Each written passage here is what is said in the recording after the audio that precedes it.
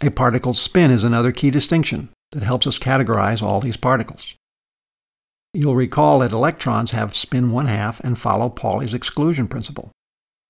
Photons have spin 1 and do not follow the exclusion principle.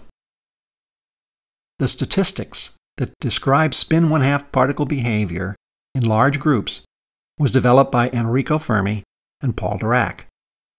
They are called fermions, after Mr. Fermi.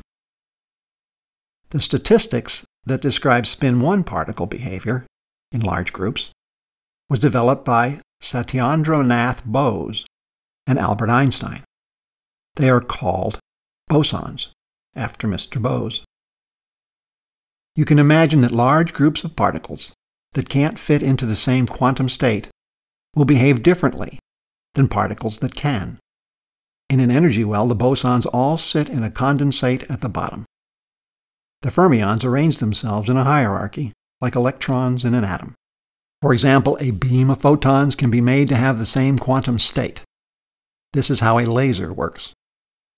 On the other hand, the inability of electrons to fit into the same quantum state creates an outward pressure that halts a star's collapse and creates white dwarfs.